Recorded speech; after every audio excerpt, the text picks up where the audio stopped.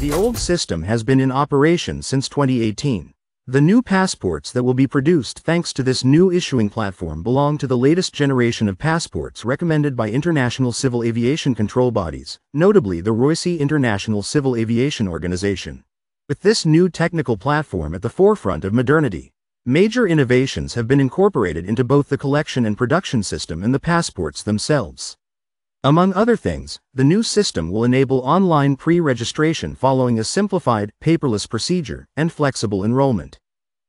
Accessible in connected or offline mode, instantaneous transmission of data from passports collected in embassies via specialized lines to personalization centers at the UN and the Ministry of Foreign Affairs, enabling passports to be issued to foreign nationals in the same timeframe as those residing in Burkina Faso a real-time monitoring system for the passport production and issuance process, enabling citizens to track the progress of their applications and authorities to ensure transparent management. Enhanced security, no stringent controls and biometric authentication mechanisms reduce the risk of fraud and identity theft, while guaranteeing greater protection for citizens' personal data. Interoperability with other national systems facilitating secure and efficient exchange of identification data, but also an extension of our flight capacity with the opening of a VIP center in Ouagadougou and a third center in Tenkodogo after Ouagadougou and Bobo. New passports, whether ordinary, diplomatic service or refugee passports, are fitted with electronic chips.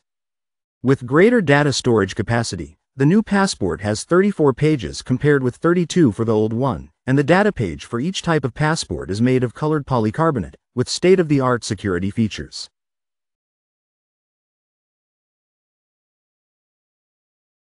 All these elements, drawn from the panoply of features characteristic of the new passports to be officially launched, meet international standards and are part of the new generation of passports recommended to states by ROICE.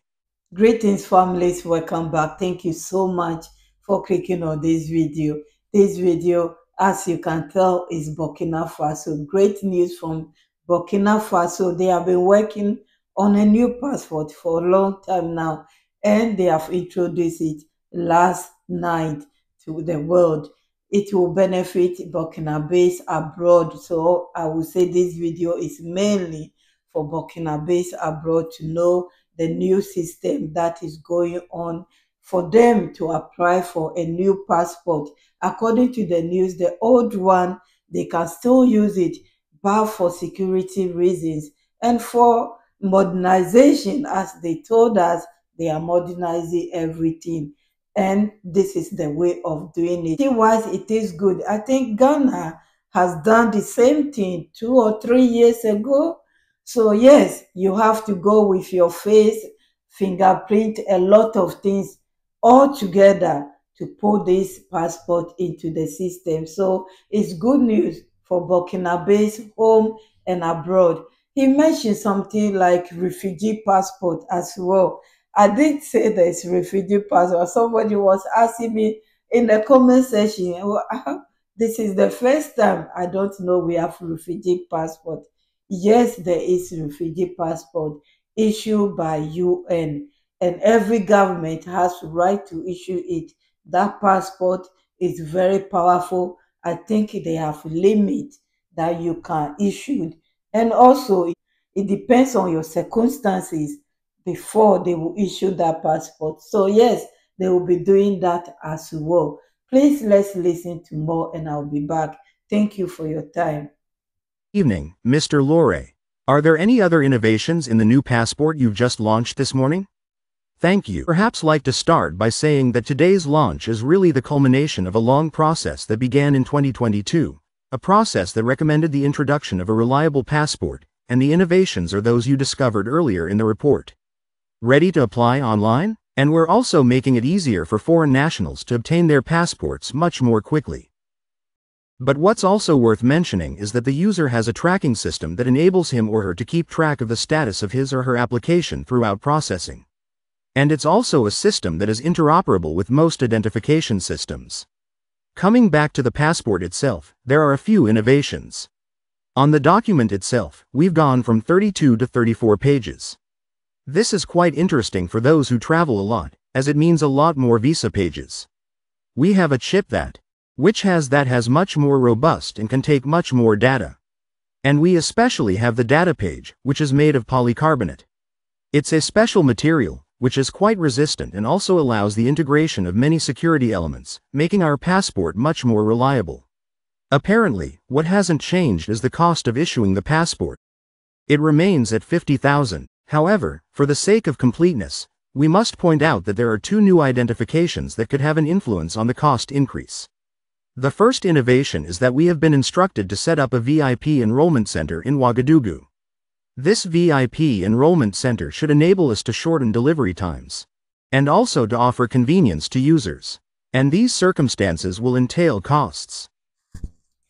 This is great news. It's great news for Burkina Faso home and abroad. Like I said, he went on to explain a lot of things, the reason why this passport has come to be, and talk about ECOWAS and other organizations that Burkina Faso or Burkina Faso is in it. And free traveling as well. He talked about why they have to change. It's important. They have to change this passport. And apart from changing and digitizing the passport, a lot of things are the same. When he mentioned ECOWAS, I was thinking, I thought ECOWAS was saying that they will not be giving them free travel. But as he mentioned it, it means they are still using some part of ECOWAS things or whatever. So yes, this passport, you can use it to travel to any ECOWAS countries as well, and they might be having the logo on it. It involves a lot. It involves a lot, and it is good to have it because things are changing very quick and very fast. Digitization, modernization, as they said, is happening now in Burkina Faso and across the AES. Please, let's listen as he explains more of this, the qualities this passport has. I'll be back. In this case, these are the standards of the ICAO, the International Civil Aviation Organization, and any passport that complies with ICAO standards allows its holder to travel anywhere in the world. But of course, to enter a country, you have to comply with the entry requirements for that country. And this is where your question becomes interesting. So I'm going to show you a few passports. There's this one, it's the very first Burkina Faso passport, it's the first generation, it's from 1998, you'll see that there's no CEDEAO logo above it, there you go. And the second generation which is also from 2006, there's no ECOWAS logo above it, there you go but the meme directive which institutes the ECOWAS passport recommends that the D and the passports is from 2000 but Burkina and only went in 2013 with this passport they're the third generation here's so in the and then here's the fourth generation this one being the fifth. So remove and mention is to admit the ECOWAS logo today. Now, this isn't something new, we've already experimented with these cases. Now what about the question of free movement? In the federal space, the ECOWAS space. So at this level, and I'll perhaps reassure you by saying that and it's not just ECOWAS, we also have another community space in the sub-region. This is the UEMOA. There are eight countries in the EU and Burkina Faso is still in the EU to this day. So here are our neighbors Cote d'Ivoire, Togo, Benin, Niger and Mali. And there you have it. Guinea-Bissau and Senegal are members of the WAMU, and by virtue of the rules of free movement within the WAMU, so our fellow citizens shouldn't have to suffer for these countries. That's all there is to it, even if CEDEAO isn't mentioned, since we're basing ourselves on EMOA rules. For other CEDEAO countries that aren't part of EMOA, the question will be settled by bilateral agreements between states. And that's without counting the fact that, as a state, we reserve the right to apply the principle of reciprocity to those who request visas for our fellow citizens. The authority will reserve the right to also apply the visa principle. So that's basically it. Our fellow citizens don't really have anything to worry about as far as freedom of movement is concerned. Many of the measures are still in force. Credit goes to FASO 7 and also Burkina 24 for sharing this important news with us. Thank you so much for your time. This is just a quick news I want to share with you. It will benefit a lot of Burkina Faso, like I said. So they should go and contact their embassies and get this new passport that will help them to travel everywhere because they will give them a time limit anyway. The one, the old one you have when it expire, then when you are going to renew it, you get a new one. The price is the same. It will be quicker. You can apply for it online, which is also great. So you sit in your house, you apply it, and then, I mean, you print the form and then you send it with your old one. But I must tell you from experience, they will have to see you in face to take a picture of you, fingerprint, everything with this new passport. Um, he didn't say that, but that's what they will do definitely to digitize that passport for you. I'm grateful for your time, my families, my new ones, those who are passing by. Thank you. My name is Mamle. I will see you soon. If anything come across, I'll come and share it with you. Bye bye. Have a blessed day.